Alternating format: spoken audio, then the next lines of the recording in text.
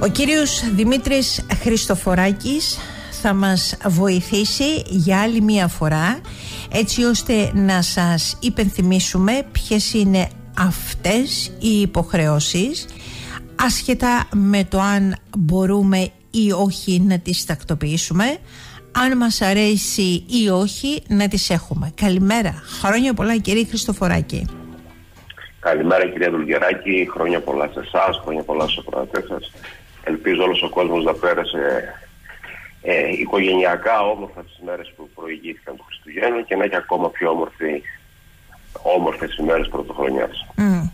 Εντάξει, λίγο πιο εξελίνη η πρωτοχρονιά στους εορτασμούς αλλά εμείς είμαστε μαζεμένοι και επειδή υπάρχουν και τα κακά, υπάρχουν και τα καλά ως νέα, ας ξεκινήσουμε από τα καλά. Μ' αρέσουν πάντα οι, με, οι, οι θετικές έτσι με οι ειδήσεις.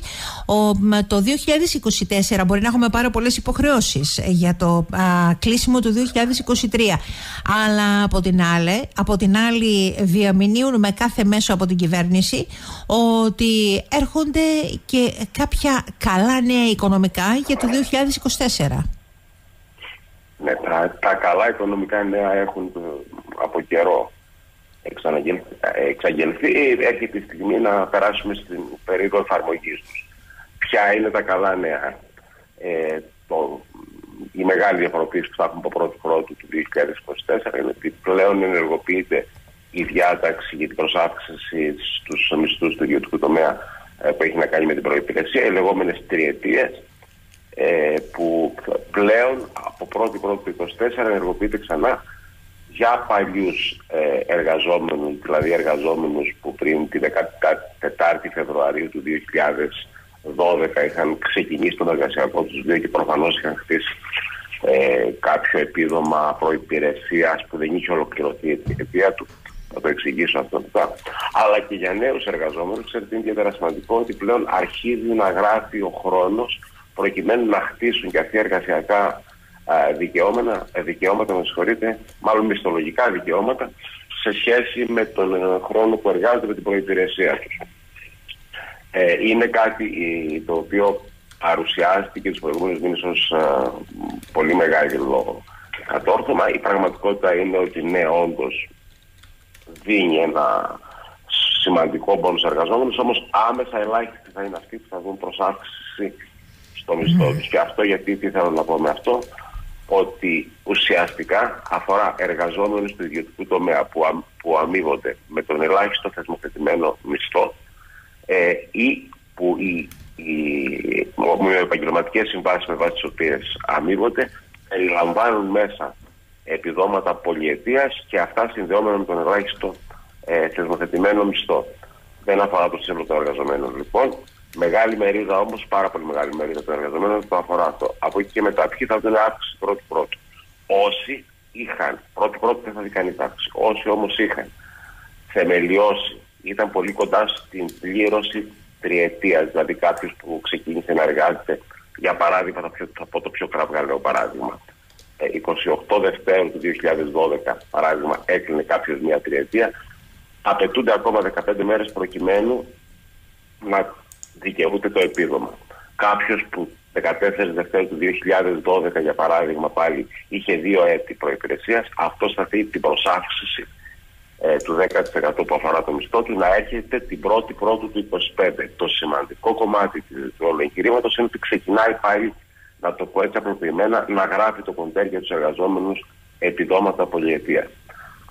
είναι, αυτό είναι ένα από τα καλά νέα, ενώ αντίστοιχα αναμένουμε και μέχρι τον Απρίλιο, με εφαρμογή από το Μάιο, το νέο, τη νέα αύξηση του κατώτατου μισθού, να δούμε ποια είναι η οποία θα έρθει να προσαξίσει ακόμα επιπλέον το, το ποσό της προσάυξης που αναφέρθηκα πριν.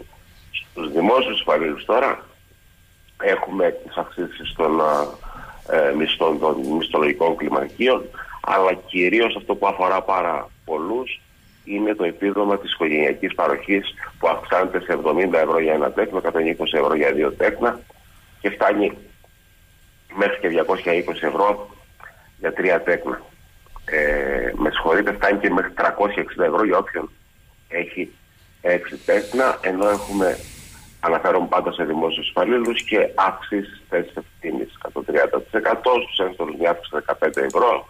Γενικότερα μικρές αυξήσεις σε όλους τους μισθωτούς για να το απλοποιήσω, αναμένεται να τους δουν στην τράπεζά τους ε, στις αρχές με την πληρωμή του Ιανουαρίου.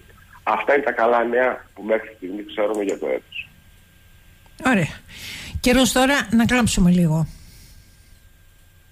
Θέλετε λίγο ή πολύ; Ας, ας κρατήσουμε το λίγο και βλέπουμε στην πορεία πώς θα μας βγει.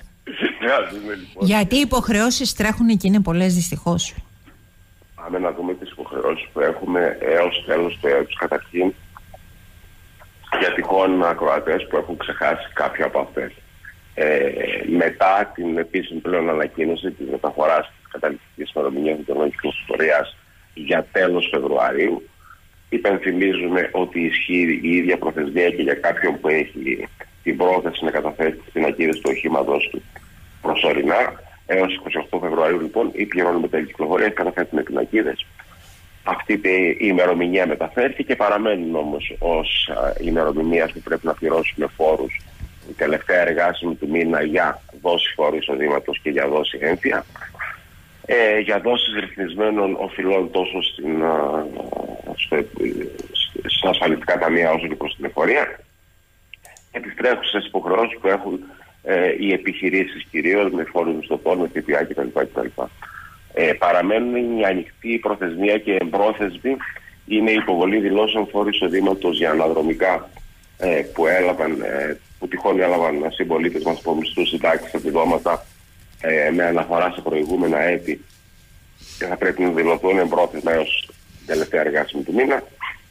Παραμένει υποχρέωση μέχρι την τελευταία εργάσιμη μέρα του μήνα ε, για δηλώσεις ε, κατοίκων εξωτερικού που για πρώτη φορά μετέφεραν τη φορολογική τους κατοικία στο εξωτερικό. Ενώ οι πληρονόμοι θανόντων εντός του 2022 οφείλουν να υποβάλουν τη δήλωση του θανόντα και αυτή έως 31 Δωδεκάτου ε, με συγχωρείτε, ω τελευταία εργάσιμη, γιατί και το τονίζω, γιατί είναι η Παρασκευή τελευταία εργάσιμη, γιατί δεν είναι 31, είναι 29 του μήνα. Ε, έως 29 του μήνα. Ενώ η υποχρέωση για ε, επιχειρήσεις που αυτό μας το γνωρίζουν, ε, που, έχα, που έκλεισαν... Α, σήμερα κάτι δεν πάει καλά. Σήμερα κάτι δεν πάει καλά. Εμείς θα επιχειρήσουμε να αποκαταστήσουμε αυτή την επικοινωνία με τον ε, κύριο ε, Δημήτρη ε, Χριστοφοράκη. Θα μου πείτε καλύτερα να μην την αποκαταστήσετε γιατί μας λέει για το ποιες είναι οι υποχρεώσεις μας. Δυστυχώς ωστόσο αυτές οι υποχρεώσεις είναι δικές μας. Θα πρέπει εμείς να κλείσουμε πράγματα φορολογικά, υποχρεώσεις μας προς το δημόσιο μέχρι και την τελευταία εργάσιμη αυτού του έτους γιατί ε, έχουμε μπροστά μας και αυξήσεις ε, και πρόστιμα για την ε, συνέχεια. Έλεγα ότι κάποιος μπορεί να έλεγε καλύτερα να μην αποκαταστήσετε την επικοινωνία σας με τον κύριο Χριστοφοράκη αλλά από την άλλη πρόσθεσα με, με κύριε Χριστοφοράκη ότι δυστυχώς είναι οι δικές μας οι υποχρεώσεις αυτές και πρέπει να θυμόμαστε. Ναι, βέβαια, γιατί διαφορετικά θα κληθούμε να πληρώσουμε πρόστιμα και προ αυξήσει. Στη χώρα μας η άγνοια νόμου τιμωρείται. Δεν υπάρχει κανένας λόγος.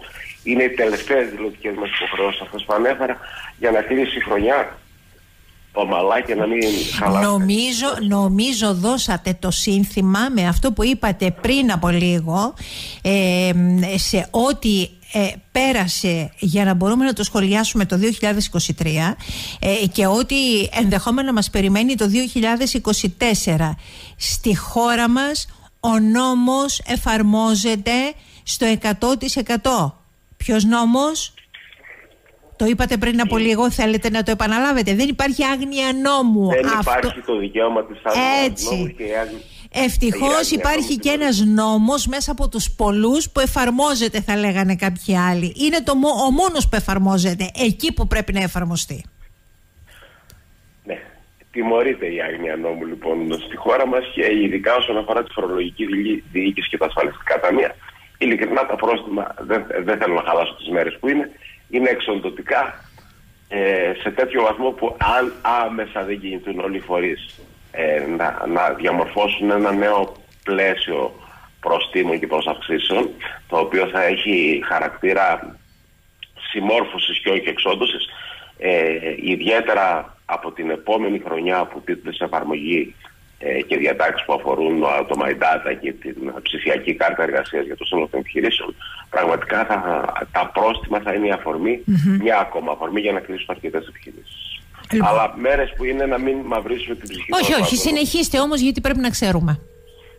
Να πούμε λοιπόν ότι από αρχή του χρόνου ε, έχουμε πάρα πολύ μεγάλες αλλαγές σε συναλλακτικές συνήθειες ε, κυρίως ε, σε, σε επιχειρήσεις πέραν του γνωστού σε όλους μας πλέον ε, νέου τρόπου φορολόγησης σε, σε ατομικές επιχειρήσεις και ελεύθερους επαγγελματίες ε, έχουμε και διαφοροποιήσεις στον τρόπο που συναλλάσσονται πλέον οι επιχειρήσεις τόσο με πολίτες όσο και με φυσικά πρόσωπα. Ενδεικτικά και πολύ γρήγορα θα πω ότι από 1η Πρώτη του 24 θα πρέπει όλα τα παραστατικά χοντρικής ηλιανικής που εκδίδονται να έχουν το λεγόμενο QR code πρακτικά. Σημαίνει ότι θα πρέπει να διαβιβάζουν στο MyData σε πραγματικό χρόνο τα παραστατικά αυτά. Όσοι εκδίδουν χειρόγραφα, ουσιαστικά τους απαγορεύεται να εκδίδουν χειρόγραφα και αυτό γιατί θα πρέπει την επόμενη ημέρα να καταχωρούνται τα χειρόγραφα παραστατικά στην ειδική φόρμα καταχώρησης. Άρα, ε, άρα ό,τι είναι να γίνει θα πρέπει να γίνει ε, το λόγο για εκείνους που τους αφορά αυτή ε, η είδηση και η, η πληροφορία πρέπει να γίνει αυτές τις ε, ε τρεις ημέρες τις τελευταίες; Αυτές τις τρεις ημέρες τις τελευταίες καλά θα είναι να γίνει ό,τι μπορεί να γίνει. Βέβαια όλα αυτά που σας αναφέρω ε, απαιτείται να βγει ε, η σχετική απόφαση από το διοικητή της ΑΔΕ, από το Υπουργείο Οικονομικών. Δεν θα αργήσει όμως. Θα βγει σίγουρα, δεν θα είναι πρώτο πρώτο του 24. Θα είναι μέσα στις πρώτες ημέρες του 24. Ε, την αναμένουμε τόσο ώστε να αρχίσουν να τρέχουν αυτό που λέμε πρόστιμα mm. για όλους αυτούς. Δεν χρειάζεται κάποιος να τρελαθεί, δηλαδή αν δεν προλάβει έως 31-12, όμως θα πρέπει να είναι η πρώτη του προτεραιότητα με την έναρξη του νέου έτους. Ε, Επίσης, από αρχή του χρόνου θα πρέπει όλες οι επιχειρήσεις να δέχονται επιδομέ μέσω του συστήματος IRIS. Είναι ένα ζήτημα που εφόσον είναι ατομική επιχείρηση ή προσωπική ή ελεύθερο επαγγελματίας, είναι σχετικά μια εύκολη διαδικασία που γίνεται και μέσω του e-banking, αν θέλετε. Αλλά αν μιλάμε για νομικά πρόσωπα, η διαδικασία είναι πιο σύνθετη και θα πρέπει να ολοκληρωθεί. Ε, να υπενθυμίσω ότι ισχύει η διάταξη για συναλλαγές άνω των 500 ευρώ που θα γίνεται πλέον μόνο ε, με ηλεκτρονικά μέσα πληρωμής σε αντίθετη περίπτωση τόσο ο εκδότης του στοιχείου, τόσο ο πολιτής όσο και ο αγοραστής ε, κινδυνεύουν να πληρώσουν πρόστιμο διπλάσιο της αξίας. Ε, να πούμε ότι έχουμε τη διασύνδεση των ταμιακών μετά από μια διαδικασία που πρέπει να ολοκληρωθεί έως 29 Δευτέρου του 24. Ε, διευρύνθηκε η λίστα των ΚΑΤ και γι' αυτό όσοι μέχρι τώρα δεν είχαν ενταχθεί στην υποχρέωση του πώς καλό θα είναι να επικοινωνήσουμε τον συνάδελφο που τους υποστηρίζει για να δουν αν ο κάτω είναι πλέον στο διευρυμένο πίνακα ε, με την υποχρεωτική εφαρμογή. Μια διευκρίνηση εδώ ε, ότι ανεξάρτητα από τον ΚΑΔ, ε, τον κωδικό αριθμό δραστηριότητας δηλαδή, που έχει μια επιχείρηση, εφόσον εξακολουθεί να κάνει συναλλαγές μόνο B2B, δηλαδή μεταξύ επιχειρήσεων, δεν έχει λιανική, δεν την αφορά η συγκεκριμένη διάταξη, μπορεί να παραμείνει και χωρίς ε, να έχει mm φως. Ε, να συνεχίσω. Ε, δεν, δεν πρέπει. δεν πρέπει. Δηλαδή όσες επιχειρήσεις έχουν συμβάσεις με δημόσιο ε, και οι συμβάσεις αυτές είναι άνω των 2.500 ευρώ ε, ανασύμβαση υποχρεούνται στην σε πάροχο ηλεκτρονικής τιμολόγησης. Ε, ο πάροχος να καταλάβει ο κόσμος είναι μια ενδιάμεση εταιρεία που αναλαμβάνει την υποχρέωση και την ευθύνη να διαβιβάζει ε, online ε, στην ΑΔΕ τα παραστατικά που εκδίδονται και έχει ένα κόστος αναπαραστατικό που εκδίδεται εκεί. Κάτι που περιμένουμε μέχρι το τέλος του έτους, η ηλεκτρονική τυπολόγηση δηλαδή, να διευρυνθεί στο σύνολο των επιχειρήσεων.